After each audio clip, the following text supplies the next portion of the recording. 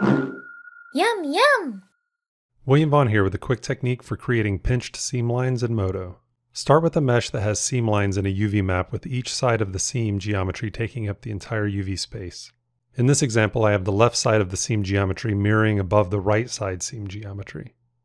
Add a smear texture layer to the shader tree, change the projection type to UV map, and choose the UV texture you created.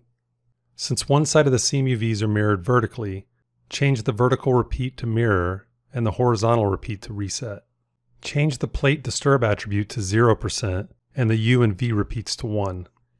Lower the smear intensity and increase the smear noise scale until you're happy with the results. Lower the bias to 25% to soften the intensity of the layer. Change the layer effect to displacement, the blend mode to subtract, and the opacity of the layer to 30%. Experiment with the various attributes of the smear texture to produce a variety of results. Oh, look at the time.